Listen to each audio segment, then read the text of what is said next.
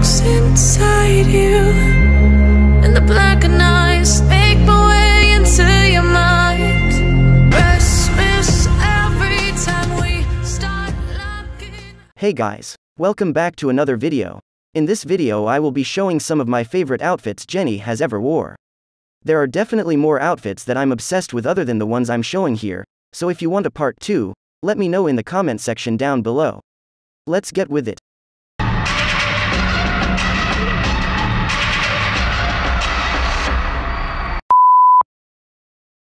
This outfit is from one of Jennie's solo stages with SBS. And I think I'm obsessed. This is like hands down one of the best outfits Jennie have ever worn, even though it was in 2018, and you can fight me how much as you'd like, but I'm not going to ever say otherwise. It's so elegant, pretty and the black and silver really matches Jennie's aura. Black is definitely Jennie's color along with red. Jennie always had that elegant royalty vibe, but this outfit amplifies it 10,000x and I mean that in a good way. I do see why though the stylists aren't letting her wear these types of outfits anymore, they're more for solo concerts, and even if the other girls wore those same type of styles, I don't think it would really match the concept Blackpink's going for. But to be honest, I'm not exactly sure what I like best. Every detail contributes, like the hair clips, the gloves, the bodice, that trailing dress. It's just perfection and I'm not hearing otherwise.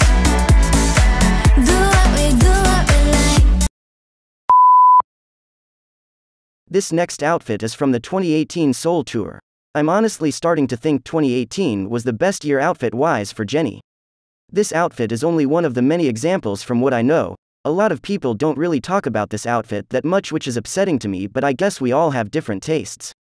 This outfit is a bit simple, but the simplicity yet the tiny details is what I think really makes the cut for me. I think the biggest reason I like this outfit is because of the pink silver color scheme and because of the crop top with the jacket. I think it really suits her and brings out her girly chic side out.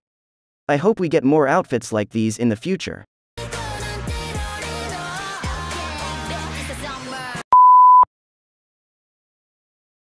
This outfit is honestly so wholesome. I love it so freaking much. And it isn't just because of the outfit, it's because of the savagery behind it. If you didn't know, some people had a problem with Jennie's nurse outfit in the Lovesick Girls music video and even led to YG having to censor that part out of the video. And guess what? The day with the pretty savage performance after, Jennie wore perfection. I mean, look at the pants censored. If that doesn't scream savage, I don't know what does. Okay, now about the outfit. I really like that gold choker and the crop top really goes well with the jeans. And those long gloves look so cool. And it goes well with Taesong, pretty savage, because she's being pretty and savage at the same time.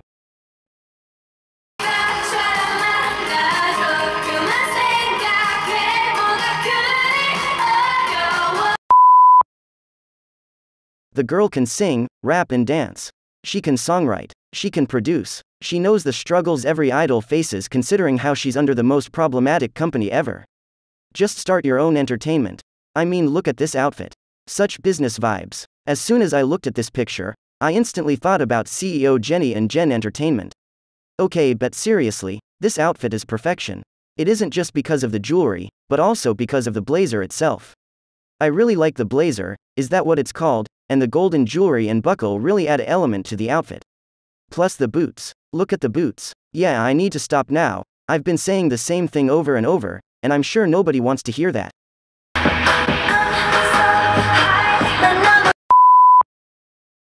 What type of video would this be if I didn't include this particular outfit? I mean, this is literally one of Jennie's most ever iconic outfits ever ever. And it was in 2017. Honestly, we need more outfits like these now. There is a reason why Jennie's called Human Chanel and this outfit perfectly portrayed why. From the Chanel lace crop top to the black skirt, everything screams, Queen, Chanel, and, you're all broke, we all stan. No seriously, the black crop top really goes well with the skirt and it all fits. I wouldn't be surprised if they actually were sold together, or maybe it's just the magic of Jennie. Either way, I think the thing that makes the outfit one of the best for me is the crop top and the floral pattern netted, it really completes the full regal Victorian vibe.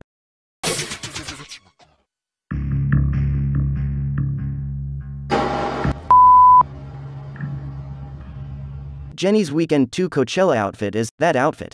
It's simple, but it still stood out the most to me, and it is definitely my favorite outfit she wore. The outfit's simple, it's just this really pretty crop top and a skirt. I think it's the way Jennie wore it that makes it as iconic as it is. Jennie was having so much fun in Coachella, she was so pumped up and full of energy, she was smiling the full time and it was her best stage presence performance. The way she just carried the outfit is what makes this better than what it is. Coachella Jennie could even make a dish rag look good. But the outfit though is worth talking about and I'm not going to excuse some of the credit the outfit gives, everything matches. The stylists did an amazing job, from the crop top with the white silver designs to the white silver skirt, the stylists know what they were doing. The scheme, the design, they knew what would complete Jennie's full out presence and look.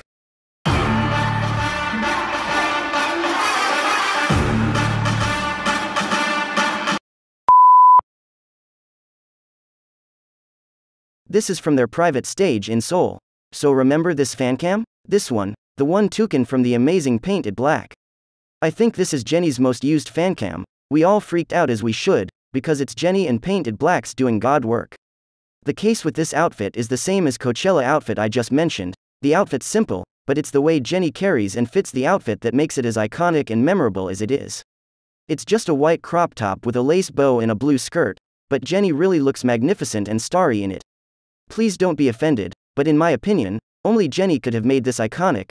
The outfit was made for her and the stylists knew that.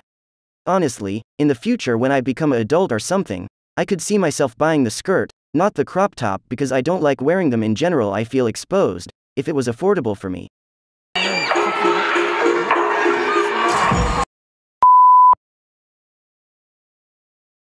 Remember this red dress? This fan cam? When Jennie walked down the stage like a bad bee with all the cameras flashing at her and she sended all her haters and fans to oblivion? Well, I sure do, and I sure you do as well. This is one of Jennie's most iconic outfits and performances. I still can't believe she doesn't like wearing red because she looks flawless in it. Again, I'm starting to believe it's really Jennie carrying the outfit. The outfit wears her, it's her that's making these outfits so memorable. I mean, yes, this dress is really pretty itself, it's red, and the dress actually matches Solo. With the bow top and the red trail, the black boots, and the choker, you get the idea. But the way Jennie carried and performed in this outfit plus her signature walk, is what really makes this outfit as memorable as it is. And out of topic, look at how many views this fancam has 13M like wow. I hope you liked this video, if you did make sure to subscribe and click the like button for more videos like this. Bye.